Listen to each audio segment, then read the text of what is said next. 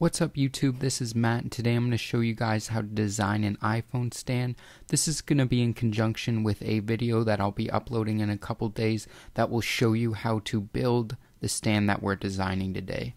So let's jump right in. Alright, SketchUp has finally decided to load up and let's dive right in. So this is going to be a stand that's adjustable and we're going to design it in two parts and kind of put it together to show you the uh, final product. Alright, so the materials that I want to use for this build are half inch and quarter inch plywood. So what we're going to do is start out by drawing a block that's 5 inches by 4 inches. So we can just go like that. 4 inches. And we can go like that, 4 inches by 5 inches. This piece is going to be made out of half inch plywood, so I'm going to raise it up half an inch right there. I'll just zoom in. Now I'm going to draw the sort of base that the uh, main part of the stand is going to hook onto and that's going to be centered with the back and an inch in. So I'm just going to find the center point, midpoint. I'm going to draw in an inch. There we go. And then because the piece that's going to be sticking up right here is going to be a half an inch piece of plywood, I'm going to draw out a quarter of an inch that way and draw out a quarter of an inch this way. Now, this piece is only going to be an inch deep. So I'm going to draw out an inch this way, draw out a half an inch this way, and connect the dot right here. Now I'm going to delete this guideline right here, and I'm going to extrude this up four and a half inches. So I'll just do four and one half inches. There we go. Now I'm going for this part of the base I'm going to um, basically round this over. So what I'm going to do is just find wherever half an inch down is which is right there. Actually I'll go a quarter inch down. Then I'm just going to take the arc tool drag it across and pull up and there is our arc I'm going to extrude these away. And there we have the base. And there we have the base of the stand. All that I have to do is add a um, a hole in the middle. What I'm going to do now is find the midpoint and draw about 3 eighths of an inch down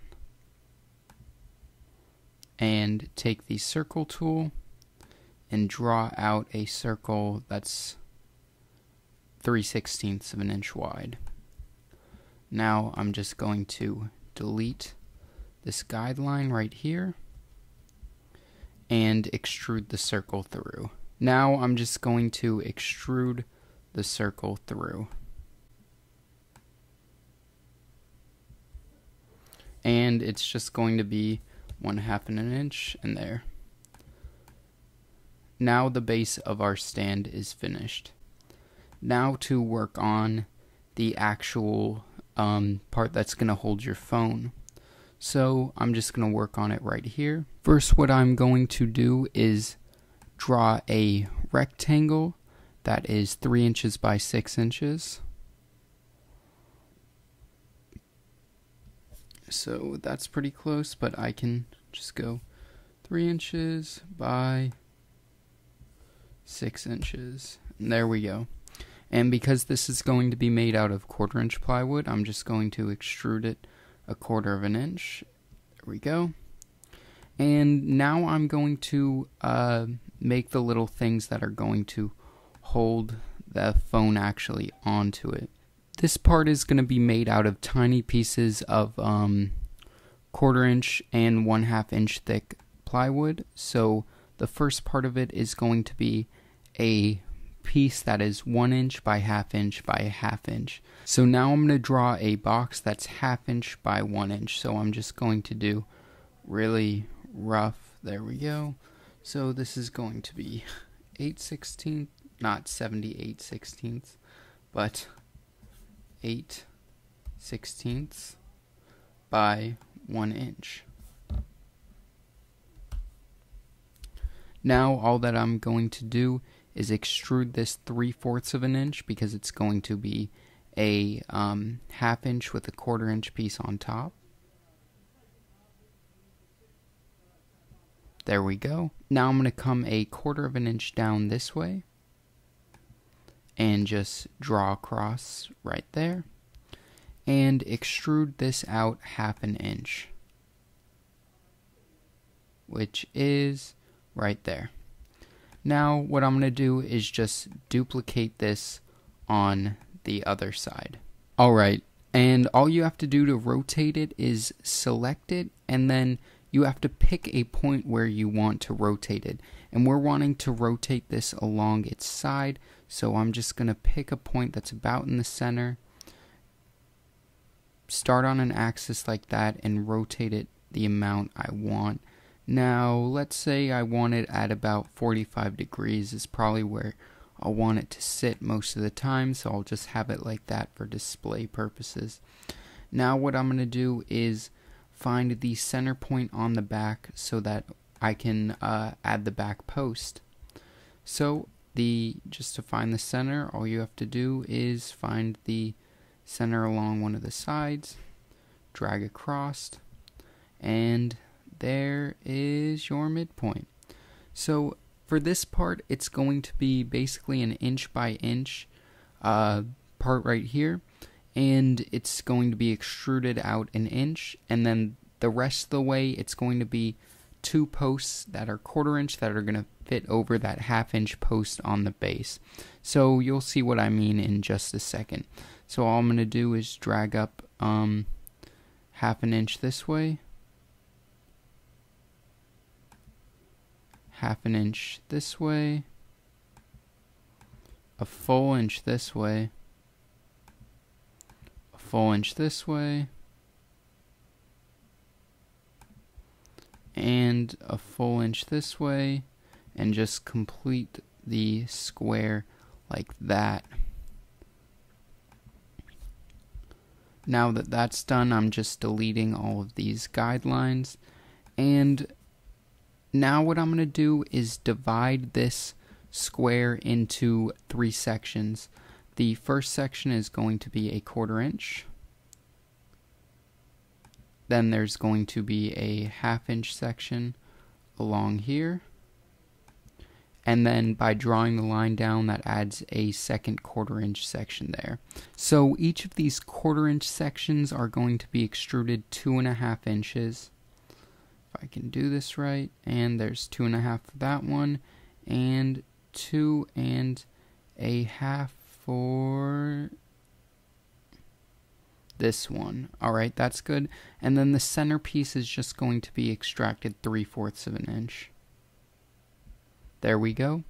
And I am going to round off these edges the same way I did that one. I'm just going to bring this down one quarter of an inch take the um, arc tool. If I can find the endpoint, there we go. Just drag it across and drag it to the top and then just extrude these corners off. Extruded one and extruded two. Alright, to draw a circle, I'm gonna do is draw a line along here about 3 eighths of an inch, then bring out my circle tool and do a hole that's about 3 sixteenths of an inch. Now I'm going to get rid of these guidelines that are right there and right there and I'm just going to extrude this in a quarter of an inch to make it go all the way through.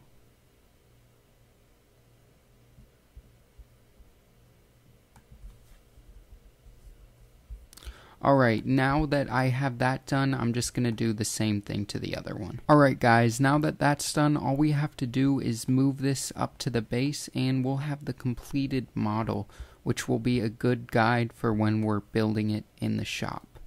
So all we have to do is select it and drag it up there. Now, dragging it up there isn't always going to be perfect because it's hard to really see in three dimensions where you're sort of dragging stuff, but it takes a couple tries, but usually it's not too bad.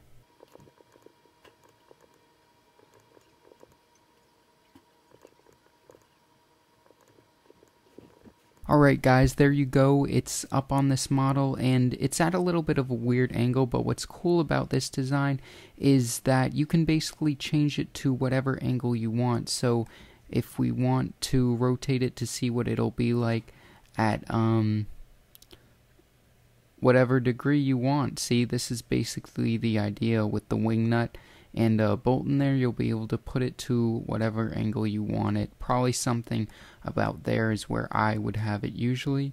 So, I hope you guys enjoyed this video. Subscribe if you want to see the uh, actual build video of this. Um, and this is Matt from Tech by Matt signing out.